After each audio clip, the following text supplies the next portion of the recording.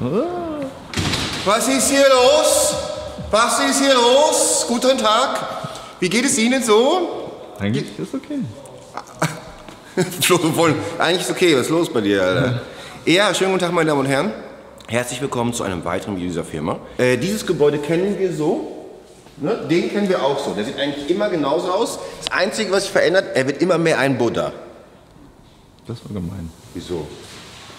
Schon, ne? Das bringt, das bringt Glück. Deswegen wollte ich da hin. Und Fabian hat nur gemerkt, dass das ihm Glück bringt, deswegen hat er sich auch so ein Ding angebaut. Buddha Bros. Ne? Die Buddha Bros. Also, das sieht alles so aus wie immer hier. Und Flo sieht aus wie immer. Ich habe ein ungebügeltes Hemd wie immer. Alles ist wie immer. Und das hier, alles ist wie immer. Ne? Ne? Zutritt strengstens verboten. Wenn man hier reinguckt, sieht das einfach aus wie immer. Siehst du? Alles ist wie immer. Man macht zu. Das ist eine normale Tür. Man macht einfach auf und es sieht immer noch aus wie immer. Ne? Richtig? Ja. Und pass auf. Stellt euch vor die Tür. Ja? Hand muss auf die Türklinke und ihr macht so.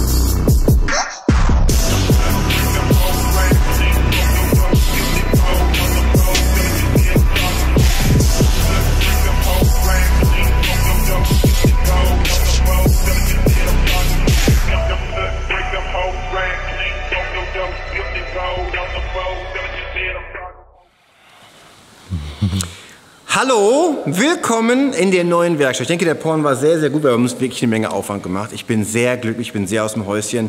Und ich kann mir auch vorstellen, für einen Zuschauer, der jeden Tag guckt, jetzt mal ohne Scheiß, glaube ich, ist das echt geil.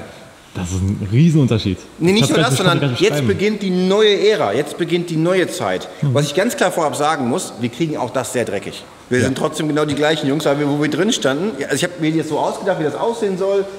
Und ich hab nie gedacht, dass das so etepetete aussieht, weißt du, so, so schickimicki richie boy. Ist schon fast zu schade, jetzt ja, zu Ja, arbeiten. ganz genau. Und auch, ich glaube, man denkt sich so, jetzt machen sie nur noch Lamborghini oder was? Nein, überhaupt alles gleich wie vorher. Wir wollten es halt nur einmal neu, einmal frisch machen. Die Stimmung ist sehr geil, alle freuen sich doll. Werkzeug neu, alles neu, alles sauber, alles geil. Und der Platz ist geil, die Staumöglichkeiten sind krass. Hier gleich kommt noch ein Teil von dem Video, äh, äh, wo wir mit den Leuten reden beim Aufbau. Weil jetzt sehen wir es ja einmal komplett fertig. Ich muss mich ganz klar bedanken bei Sonic. Ich muss mich auf jeden Fall bedanken bei Timbush. Wirklich Mega Service, krass. Also wirklich geil, weil wir haben das jetzt alles in 14 Tagen gemacht. Und äh, Armando und ich sind auf jeden Fall, ab heute sind wir die Beton-Buddies. Beton-Buddies und Streich-Buddies. Denn wir haben wirklich alles, alles, alles selbst gemacht und es hat sehr, sehr viel Spaß gemacht. Es war auch sehr anstrengend. Ich habe mir auch echt einmal den Rücken voll verballert wegen diesen Betonsäcken. Aber es hat sich, jede Sekunde hat sich gelohnt. Für mich, ne? ihr müsst euch überlegen, ich mache es jetzt schon ein paar Jahre. Also vielleicht könnt ihr das Video nicht ganz so verstehen, aber für mich ist es voll geil, weil für mich war immer klar, wenn wir hier drehen, wie viel Platz so hier ist. Ne? Siehst du das? Ja, das ist schon ein Unterschied. Das ist ein Unterschied. Ja, yep.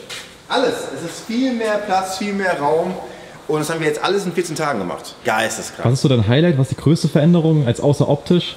Äh, Licht, Licht. Hm? Boden, ganz klar die Schränke, wie viele Staumöglichkeiten wir jetzt haben, ist einfach komplett verrückt. Wir können, wir können alles separat jetzt lagern und haben ohne Ende Raum frei. Ich weiß gar nicht, was hier drin ist. Ja, guck das mal an. Da ist viel Platz. Und wir haben schon sehr viel wieder eingeräumt. Weil wir haben ja vorher haben wir diese Werkstatt gemacht mit zusammengeschreinerten, mit Holzplatten und willig den billigsten Dingern zusammengebaut. Und das hat mir auch gefallen, weil das haben wir alles selbst gemacht, aber das, das, das, wir sind da irgendwie rausgewachsen. Ich habe mir so wirklich, das war wirklich so eine, so eine Kurzschlussreaktion bei mir. Wir waren in der Werkstatt und ich habe mir gedacht, die gucken sich das die ganze Zeit so an.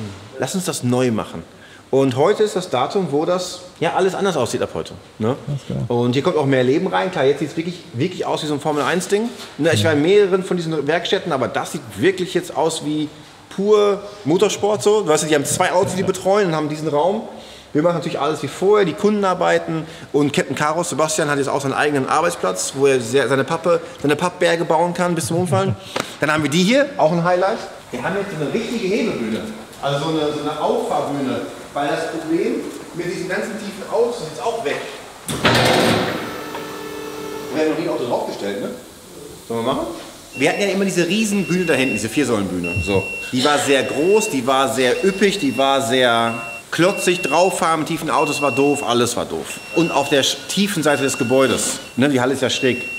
Und das machen wir jetzt mal hier. Wir brauchen sie nicht ganz oben, weil wir sie für andere Sachen brauchen, aber das, das ist ein, ein Test. Und dann kann man nämlich noch in der Mitte die Bühnen separat hochfahren. Zwei Bühnen in einer. Ah, geil, praktisch. Voll. Also ich weiß nicht, also ich, ich, ich finde es ist ein Video wert separat, weil ähm, so als Status, wenn man es jetzt einfach so gemacht hätte, wäre auch doof. Ne? Auch die Werkzeuge sind ja alles neu, oder? Ja, alles Sonic. Geil. Und, boah. und das ist ja jetzt das Höchste, was wir so haben, ne? weil das Heck ist jetzt ganz hoch. Ja.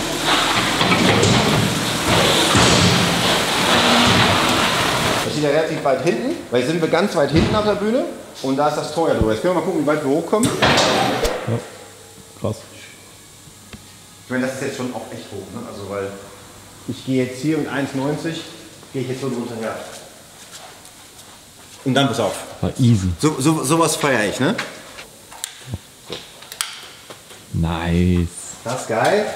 Musst nicht mehr mit diesem Magnetding da Ja, Mann, das ist gemacht. Das ist ja quasi gemacht dafür, dass man hier Videos dreht.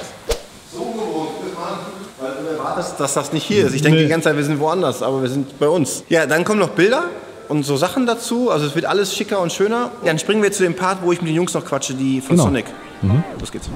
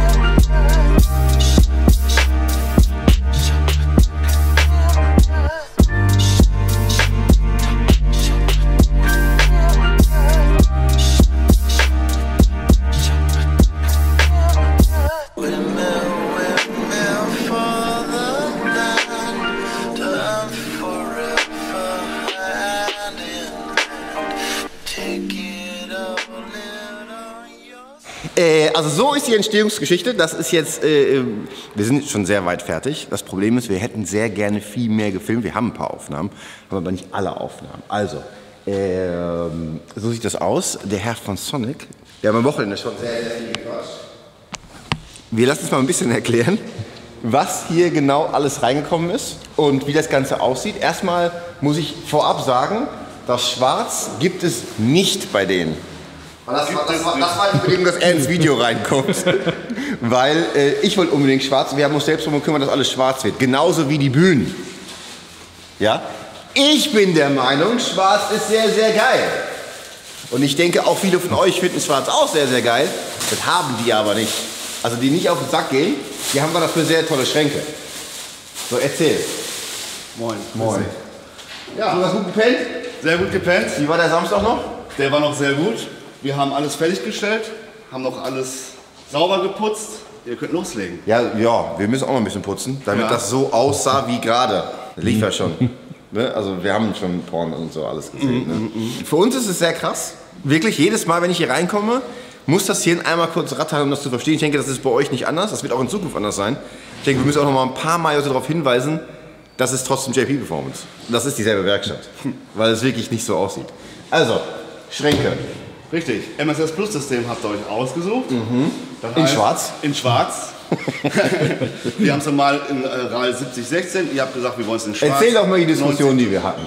Ja, also ich kam hier an und du hast gesagt, ich möchte schwarze Möbel. Habe ich meinen Transporter aufgemacht und habe gesagt, das ist unser MSS Plus System in RAL 7016. Hat der Herr Jean-Pierre gesagt, das ist für mich nicht schwarz genug. ich will es schwarz. Und es ist schon dunkel. ja, es ist schon sehr dunkel, aber Ist halt kein Schwarz. ist halt kein Schwarz. Und Ja. dann, haben wir gedacht, ja, dann haben wir gesagt, Haben wir ein Problem. Wir haben es nicht in Schwarz. Äh, und dann kam halt die Diskussion auf, dann machen wir es in Schwarz. Und das ist halt das Ergebnis. Ich sehe es jetzt, habe es auch zum ersten Mal jetzt in der Farbe gesehen. Ich finde es mega, sieht sehr gut aus. Finde ich auch. Gerade mit dem Boden, mit den Bühnen. Auch mit Einmal- dem Weiß dann im Genau. Kontrast und so. Also ich finde es auch sehr, sehr geil. Es waren wirklich ein paar Jungs da, weil Schränke gibt es überall. Es sind auch bestimmt welche bei, die schreiben, ja, also meine Schränke sind viel billiger, so und so. Aber wir hatten wirklich ein paar Leute da und die haben uns die Schränke angeguckt. Der Unterschied ist, ich sage sowas eigentlich nicht in Videos, aber der Unterschied ist krass. Der ist wirklich krass. Genau, wir haben ein paar äh, Gadgets drin, ein paar Gimmicks, die halt. Nee, auch Stabilität. Ja, genau, Das richtig. Gefühl, also das Gefühl beim Bedienen. Genau, wir haben einmal jetzt hier Schubladen, Doppelkugel gelagert auf beiden Seiten. Ja. Ne? 1,4 mm Material. Genau. Ne? Das heißt, die Schubladen, die halten richtig was aus. Das heißt, ich setze mich da jetzt einfach drauf. Ne? Du kannst dich da reinsetzen. Oben die kleinen Schubladen 123 Kilo. Ja. Die untersten Schubladen, das heißt die mittleren und die großen, 230 Kilo. Ja, weil, weil wenn ich mich auch so, so jetzt hier drin bin, merkst du, die Kugellagerrollen noch ganz normal. Okay, ich wiege 75 Kilo. Ja, Das sieht einfach so unrealistisch aus gerade. Krass, ne? Was mich so überzeugt hat, war der Moment, dass du einfach denkst, dass jeder Schrank eigentlich ein Werkzeugwagen ist, der auf dem Boden festgeschraubt ist. genau. Das heißt, Und das war bei den anderen nämlich nicht so. Sondern da sieht das halt oft nur so aus, als ob es das könnte. Und dann merkst du schon, dann sagen die auch, ja, unsere Schublade kann auch so und so viel Kilo. Ja, das glaube ich sogar, dass sie so viel Kilo kann, aber dann lässt sie sich nicht mehr so bedienen. Ne? Und nach dem Bedienen ist es auch nicht so, ne? dass es einfach zugeht. Ne? Du hast immer so, so einen Verzug gehabt. Und das hat mich einfach an. Ich meine, wir setzen uns nicht in die Schubladen rein, aber da kommt, da, da kommt was rein. Genau, da kommt was rein, da kommt auch sehr, sehr, sehr, sehr, sehr, sehr viel rein. Und äh, deswegen war das für mich geil. Genau, wir haben auch die, Häng auch die Hängeschränke, könnt ihr auch sehr, sehr, sehr, sehr viel reinmachen, weil die halten auch 80 Kilo aus. Ja. Das heißt, die könnt ihr auch mit 80 Kilo belasten. Wir haben oben St- Stromsteckdosen drin. Und jetzt komm, jetzt sag, sag deinen Lieblingspart wieder. Mein Lieblingspart, wir haben hier eine Öffnung. Guck mal hier, haben hier eine Öffnung. hier eine Öffnung. Da kann man jetzt Papierrollenhalter drauf, also eine Papierrolle drauf machen und von unten dann durchziehen. Das heißt, wenn man arbeitet, kann man direkt hier das Papier. Das hat er mir viermal erzählt. Ja. Und viermal so, als ob ich es noch nie gehört hätte. Ist gut. Okay, okay. Also, also man kann hier was durchziehen. Genau, genau, genau. Also man hat das zu und kann quasi ohne öffnen, ohne Öffnung. kann man das hier so durchziehen. Genau, kannst du dann das hier- ist doch verrückt. Ja. Das ist doch verrückt. Okay. Ja. Strom haben wir drin. Dann haben Strom die großen. Schubladen, da ist glaube ich auch Strom, haben wir auch reingemacht. Nee, bei, ja nicht drüben. Drüben haben wir das, okay. Das heißt, und hier haben wir auch noch, wenn das Papier hier durchgezogen ist, sauber geputzt ist, muss es auch weg. Ja, das war das Allergeilste. Habt ihr euch hier für einen Mülleimer entschieden? An jedem Arbeitsplatz. An jedem Arbeitsplatz. Das heißt, ich habe einen Mülleimer. Ja. Sebastian! Das muss ich ihm gleich nochmal erklären. Ja. Der versteht dieses Prinzip nämlich nicht vom Mülleimann und noch Sachen reintun. Ne? Und da muss ich ihm nachher noch erklären, dass ich dann nachher kann er dann Wenn der, mal, wenn der mal voll ist, kann ich ihn ja, rausnehmen. das muss man ihm dann aufzeichnen. Okay. Dann macht man eine kleine Zeichnung, Ja. ne, wie, wie er diese Bewegung so macht. Und dann muss er das wegbringen. Das müssen wir ihm noch erklären. Aber das kriegt er hin. Ja. Und dann haben wir Luft. Hier haben wir euch Luft reingemacht, Schlauchaufroller und hier haben wir noch einmal Strom. Ne? Muss noch einmal ein Stromstecker dran und dann könnt ihr halt 10 Meter lang, Beide sind 10. 15 Meter, Genau. 10 Meter. Und hier oben haben wir auch nochmal Stromabnahme. ne? Das ist alles so clean. Krass, Das ist ne? alles so versteckt. Ja. Hier haben wir nochmal die Variante mit drei hohen Schubladen und, und hier haben wir dann nochmal Strom reingemacht. Also ich freue mich bei der Werkstatt wirklich so doll wie bei, wie bei einem mehr als bei einem Auto. Weil das einfach, das, das ist jetzt unsere Werkstatt. Das ist für mich eigentlich sehr, sehr, sehr schwer vorstellbar, dass das wirklich unser Ort sein wird. Ist so unwirklich. Und vor allen Dingen, Leute, ich weiß nicht, ob ihr das schnallt, aber stell dich mal hier hin. Haben wir vielleicht eine Aufnahme von früher so hier, ne? Die man so, kriegen wir bestimmt irgendwas. Guckt euch mal an, wie breit diese Werkstatt ist und dadurch, dass die Wand weg ist und die große Bühne hinten, wie viel da mehr dazugekommen ist. Das sieht, das sieht aus wie ein anderer Sag mal, Raum. sag mal über Kamera. Ja, es sieht wirklich aus. anders. Genau. Habt ihr es hinbekommen mit der Bühne? Die erinnert euch an unsere wunderschöne geschweißte Konstruktion und auch für, guck mal, wo wir angefangen haben bei dieser Firma, ne? das muss man ja kurz hier so ein bisschen sentimental, aber so ein bisschen ausholen. Das war natürlich eine riesen Investition, dieses Gebäude zu machen und die Investition in mein geglaubtes Talent war das so ein bisschen, weil wir waren eigentlich nicht in der Lage, das zu stemmen. Sondern meiner Meinung nach muss man immer investieren, damit es vorwärts geht. Und dann haben wir diese ganzen, diese Schränke, dieses ganze Zeug, haben wir bis vor ein paar Tagen aus selbstgesägten Holzbrettern gemacht. Und haben wir da von einem Bekannten uns Edelstahlplatten drauf machen lassen, damit es so aussieht wie sowas. Und es hat auch bis vor ein paar Tagen hat das ja auch noch geklappt. Und das waren unsere Arbeitsplatten, Arbeitsbänke. Und jetzt sowas so zu sehen, ist einfach verrückt. Und dieses Bedienteil, was wir hatten von unserer Bühne, war dieses selbstgeschweißte Etwas, was in vielen Videos immer wieder zu sehen war. Und jetzt ist das einfach in der Wand. Genau, wir haben es euch in die Wand reingemacht. Wir haben mit dem Stufenbohrer die Löcher genauso auf die Knöpfe angepasst. Es hat eine schöne Optik einmal. Genau, und dann müssen wir halt nur noch umfolieren. Ne? Also genau, wir folieren es dann noch einmal um, dass man auch weiß, wo man dann draufdrücken muss. Ja, ja. Dann hat man es einmal schön. Und auch hier unten haben wir euch euer Aggregat reingemacht erstmal. ja, ja, ja, geil. Schläuche kommen raus, gehen ins Aggregat rein, ist alles weg, nichts Absolut, stört mehr. ja. Euch geht auch nichts von der Arbeitsfläche verloren. Nein, ne? nein, nein, nein, nein, nein, nein. Dass das so integriert ist, alles so clean, das, das, Ja? das ist einfach krass. Das ist Hammer, ne? Ja. Was für dich das größte Argument für Sonic? Das größte Argument für Sonic, einmal das Produkt natürlich. Ne? Das heißt, Aber was, was am Produkt? was am Produkt? Die Qualität. Ja, ne? Wie gesagt, große Materialstärke, 1,4 mm, das ist schon richtig, also weißt du selber, das ist richtig Material, das ist nicht ein Dünnblech, sondern das ist richtig Fund. Dann kommen wir hier zu unserem TÜV-Arbeitsplatz.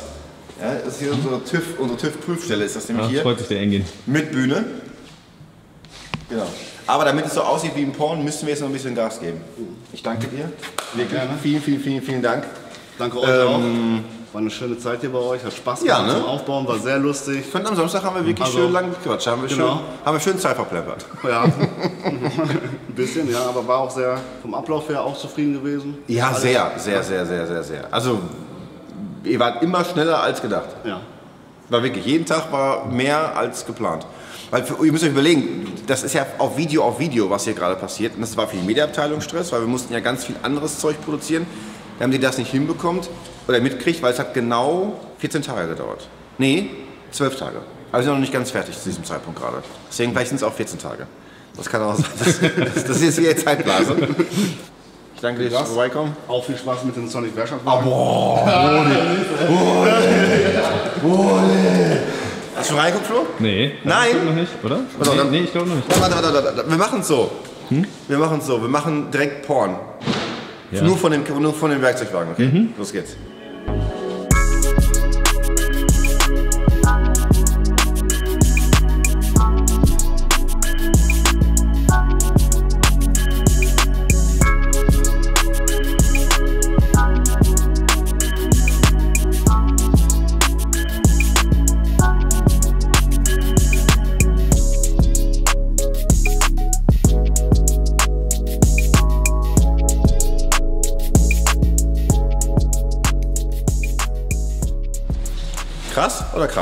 Also mega.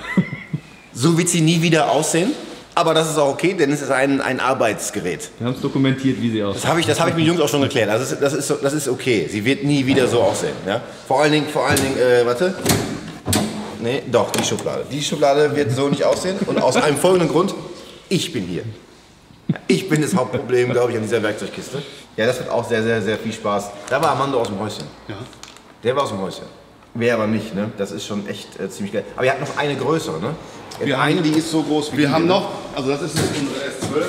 Wir haben noch eine S13, S14 und eine S15 und die S15 machst du schon, hat diese Größe hier, wie dieses Schrankmodul. Halt nur auf Rollen. Voll bestückt. Ja, aber das, wer, wer braucht ein LKW oder wer braucht das? Das brauchen meistens, das nehmen meistens Schrauber, die alleine schrauben, die eine Bühne haben, stellen sich die dann vor die Bühne hin, weil die hat auch eine etwas höhere Alles Höhe. Ja, ja, ja. Genau, mit Edelstahlplatte und dann kann er halt seine Teile drauf ablegen. Ne? Ja, nee, also das, das ist schon Das echt ist eine, schon- das ist schon echt eine Mordskiste. Genau. Also, Ihr habt da schon eine sehr große Kiste, eine Meter Länge, über 50er Tiefe und schwarz. und schwarz auch. Weil das ist eigentlich- das, das ist eigentlich Edelstahl, wurde auch schwarz Pulver beschichtet. Weil es sollte hier nirgendwo mehr Edelstahl zu sehen sein. Nee, das stimmt, weil ich, ich kann es einfach nicht ab. Und deswegen haben wir gesagt, okay, wir nehmen die S12 so mit Edelstahlplatte und ich habe sie dann halt ein bisschen, Modified. genau. Okay. So, jetzt gucken wir weiter. Bis gleich. Jo, Manni. Ja. Da ich Chef gerade nicht auffinden kann und ich ein Ende brauche für das Video, willst du noch ein paar Worte zur neuen Werkstatt sagen? Wie Neue Werkstatt, bombastisch. Man muss sich erstmal komplett neu dran gewöhnen. So? Ja. Am ersten Tag bin ich erstmal wieder rausgegangen und geguckt, ob ich überhaupt richtig bin. Beste an der neuen Werkstatt. Ja. Ich glaube die Bühne. Die Bühne? Okay. Welche Vorteile haben wir? Wir haben andere Bühnen, neue Bühnen, mehr Bühnen. Wir können auch mal ein Auto zusätzlich noch mit auf die Bühne nehmen. Müssen nicht sofort wieder alles runterschieben. Ja. Sauberkeit. Armando, willst du noch was sagen? Mach Ding aus. Krasser Unterschied zu vorher. Es wirkt viel ordentlicher auf jeden Fall jetzt auch. Ja, okay. Willst du mal Tschüss sagen? Ja, dann ciao. Bis Montag. Sag mal schön, bis Montag. Manu! Was? Mach das jetzt. Verabschiede dich. Ja, okay. Jetzt, jetzt sag du einfach Tschüss. Okay, Bitte. tschüss und bis Montag. Sehr gut. Bitte.